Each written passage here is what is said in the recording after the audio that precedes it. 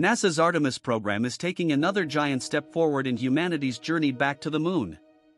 In August 2025, teams at the Kennedy Space Center in Florida carefully transported the fourth core stage engine section for Artemis 4.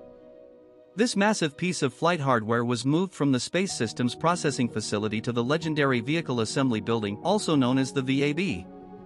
Right now, the engine section rests in the facility's transfer aisle, waiting for its next big move. Soon, engineers will lift it into High Bay 2, or it will be integrated with the rest of the rocket's core stage. Every connection, every bolt, and every system will be tested to ensure this incredible machine can withstand the journey to space. But what makes Artemis 4 so special? This mission isn't just about launching a rocket, it's about building the foundation for a sustainable human presence on the moon. Each Artemis mission is paving the way for astronauts to live and work on the lunar surface, while also preparing us for the next giant leap, sending humans to Mars. The Artemis program marks the beginning of what NASA calls the golden age of innovation and exploration. By bringing together advanced technology, international partnerships, and decades of experience, Artemis is rewriting the future of space travel.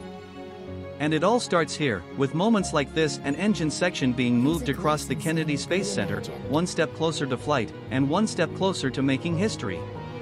So, stay tuned as NASA continues to assemble the powerful space launch system, the Orion spacecraft, and the missions that will change our place in the universe forever. Thanks for watching.